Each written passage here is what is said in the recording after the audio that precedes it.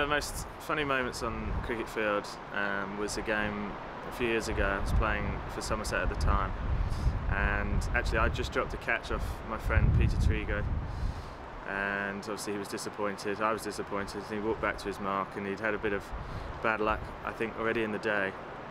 And he turned to uh, the guy fielding at mid off, Andy Caddick, and he asked, you know, when would his luck ever change? And Andy turned to him, and I'm sure he meant it in the nicest possible way. He said, "Mate, when you're rubbish, it won't."